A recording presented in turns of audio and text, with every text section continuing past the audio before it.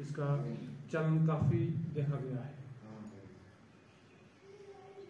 एवं हमारे और अब मैं बात करूँगी अर्ली डिटेक्शन के बारे में कि हम कैसे पहचान सकते हैं कि अ, हमारा जो यूथ है इन चीज़ों में इन्वॉल्व हो रहा है तो उसमें मैं बात करूँगी अ, एक टूल की जो आपके सामने यहाँ पे प्रेजेंट भी हो रहा है S P I R T S P I R T क्या है एस सी स्क्रीनिंग स्क्रीनिंग हो गया जिससे हम आइडेंटिफाई कर सकते हैं ये चीज़ पहचान सकते हैं कि ये अ, मतलब कि हमारा जो यूथ है वो इन चीज़ों में कि बच्चे अपनी भावनाएँ अच्छे से प्रकट नहीं कर पाते हैं, जिसकी वजह से वो नशे में पड़ जाते हैं। मान लीजिए बहुत सारे बच्चे होते हैं जो पढ़ाई में इतने अच्छे नहीं होते, है ना?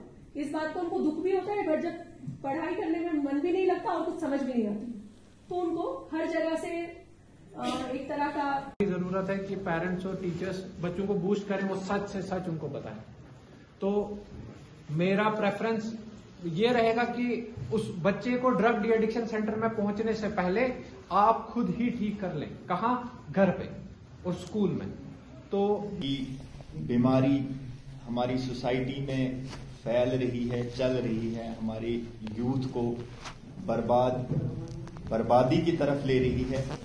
इस पे काफ़ी मेहनत, जैसे मैम ने बोला कि आप देख रहे हो, इतने सारे प्रोग्राम हो रहे हैं, इतनी मेहनत हो रही है, आखिर क्यों ये सब कुछ हो रहा है और इन सब चीज़ों की क्या? बातें ऐसी बोली जो